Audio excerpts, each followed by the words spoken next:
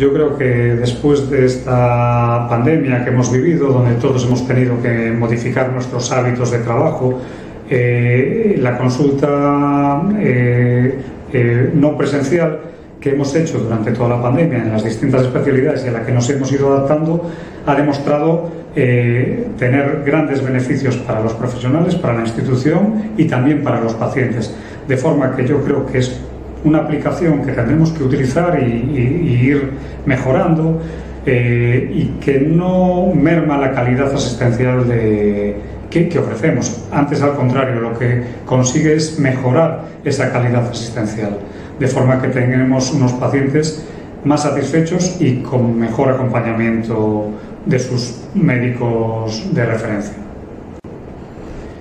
Para el médico permite eh, hacer un número mayor de consultas. Habitualmente estas consultas telemáticas son consultas breves para resolver problemas de una forma inmediata. Hay pequeños problemas o pequeñas dudas de nuestros pacientes que no precisan de una exploración física, con lo cual no necesitan de una, de una consulta presencial o complementan a una consulta presencial que se hará o, o bien ya se ha hecho a priori o se hará a posteriori con lo cual ayudan y complementan a, un buen seguimiento de nuestros pacientes y a una mejor resolución de sus problemas.